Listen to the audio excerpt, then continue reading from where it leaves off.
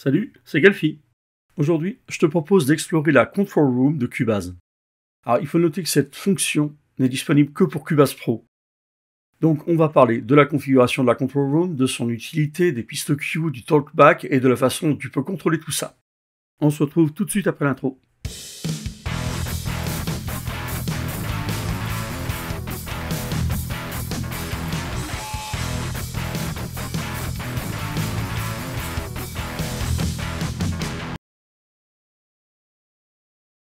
Alors, la Control Room, en fait, ça te permet de recréer virtuellement un environnement studio avec les musiciens d'un côté et, entre guillemets, la salle des commandes, donc l'ingé son ou le producteur de l'autre, avec ses consoles, ses enceintes et tout et tout. Je vais pas entrer trop dans les détails, d'une part parce que mon home studio est super basique, avec une carte son et un ordinateur dans une pièce qui n'est pas traitée acoustiquement, et d'autre part parce que je n'enregistre pas de groupe, pas plus que je ne suis producteur ou ingé son. Donc on va voir les bases mais pas l'utilisation avancée. Donc, tu as plusieurs façons d'ouvrir la Control Room. Tu peux aller dans Studio, Control Room, et elle s'ouvre à ce moment-là dans une fenêtre indépendante. Tu peux aussi afficher la fenêtre de droite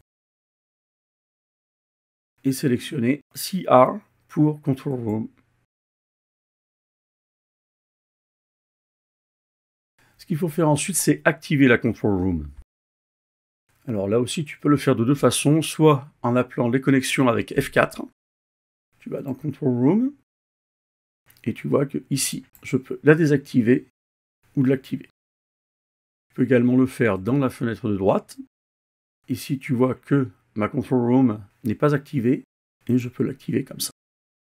Alors, il y a un truc à savoir, c'est que lorsque la Control Room est activée, quand tu vas dans le rack de médias, et si tu veux en savoir plus sur le rack de médias, il y a aussi une vidéo sur le sujet, tu ne peux plus écouter les previews des boucles et des samples. Et il y a une bonne raison à ça en fait, c'est que la Control Room simule un environnement studio, donc le son vient des artistes et pas des banques de données du rack de médias. Si tu veux à nouveau accéder aux previews, il faudra donc désactiver la Control Room.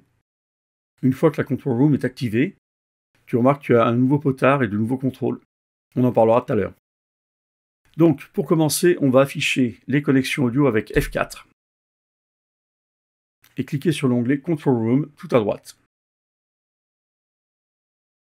Donc là, il y a théoriquement les différentes entrées et sorties, sauf qu'ici, j'ai rien. Dans un premier temps, je vais désactiver mon output ici. Clic droit et supprimer le bus stereo out. Maintenant, dans ma control room, tu as plusieurs choix.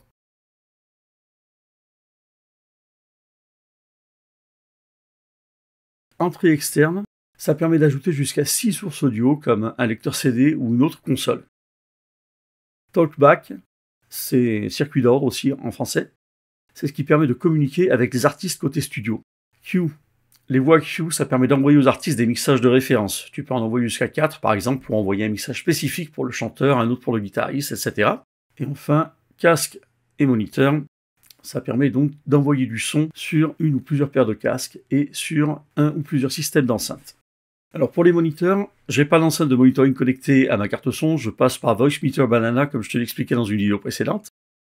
Mais on va faire comme si j'avais du matériel connecté. Je vais entrer une première configuration d'un moniteur en stéréo.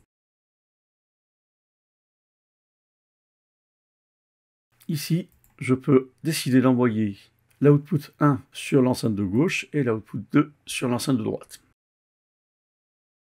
Tu vois que ici, dans ma control room, j'ai de nouvelles commandes qui sont apparues.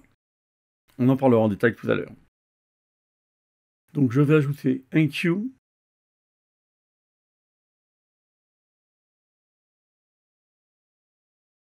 Tu peux renommer simplement en cliquant et en entrant le nom que tu veux.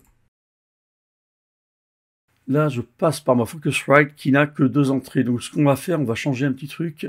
Je vais repasser sur Voice Meter Banana qui a 8 entrées.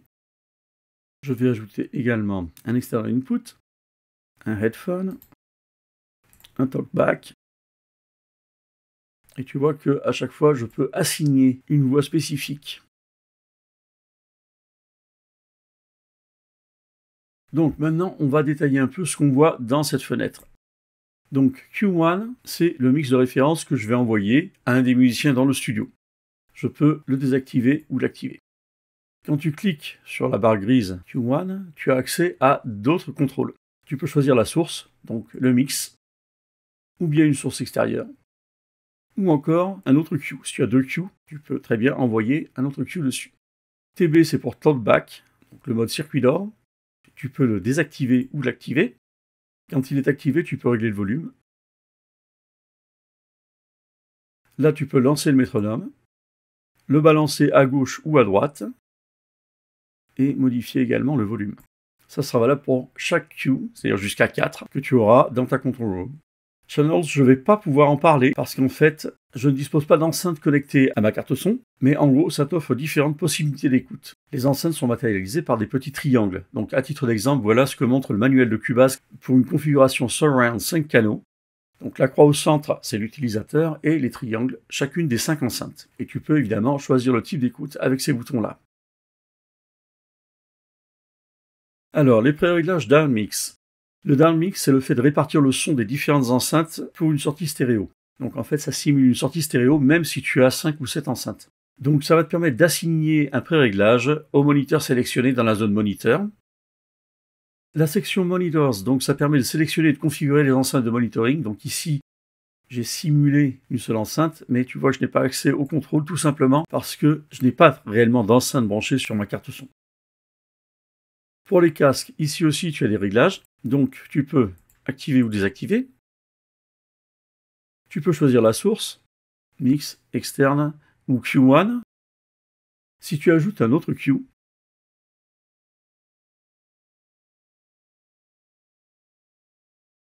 tu vois qu'à ce moment-là, tu peux choisir entre les deux Qs. Ici, tu vas pouvoir régler le volume du casque tu peux activer le métronome et dans ce cas-là, là encore, régler le panoramique et le volume. La barre LE ici permet de régler le niveau d'écoute en sortie quand elle est activée. Là, je l'ai désactivé, je l'active et là, je peux régler le niveau d'écoute en sortie. Main, c'est la voie de la control room, donc le bus de mixage principal. Tu peux là aussi activer, désactiver et régler le niveau avec ce potard rouge. Tu as aussi le vumètre du signal ici. Ici, tu peux atténuer le signal avec le bouton DIM et utiliser le niveau de référence défini dans les préférences. Alors pour les préférences, tu vas dans Édition, Préférences, VST, Control Room. Et là, tu as les niveaux de référence. Si tu veux en savoir plus sur les préférences, il y a aussi une vidéo sur le sujet. Si tu actives le Talkback ici, tu as accès au contrôle du talkback en cliquant sur la barre grise Main. Pour le talkback, tu peux là aussi modifier le volume du clic, soit avec le fader, soit en double-cliquant pour entrer la valeur que tu veux. Tu peux aussi modifier le panoramique du clic. Tu peux dim, c'est-à-dire atténuer le niveau du talkback. Là aussi, soit avec le fader, soit en double-cliquant. Listen AFL. Donc AFL, c'est mis pour After Fader Listen, donc écoute post-fader et PFL quand c'est désactivé est mis pour Pre-Fader Listen, donc écoute pré-fader. Pour les notions de pré- et post-fader, je te renvoie à la vidéo sur la question, je te mettrai là aussi le lien en description. La barre LE, quand elle est activée, permet de régler le niveau d'écoute en sortie.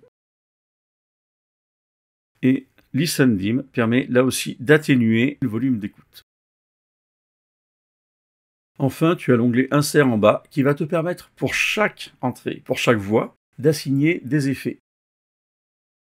Donc ça peut être un équaliseur, ça peut être un compresseur, ça peut être un limiteur, etc., etc. Et ça, tu peux le faire pour chacune des voix en cliquant simplement sur la barre grise de façon à ouvrir l'accès aux inserts ou l'accès aux effets comme tu préfères. Voilà, alors je ne vais pas aller plus loin sur le sujet de la control room parce que tu l'as très bien compris, je m'en sers pas parce que je n'en ai pas besoin pour le moment et parce que je ne suis pas équipé. Si tu as des questions ou des suggestions, n'hésite pas à laisser un commentaire.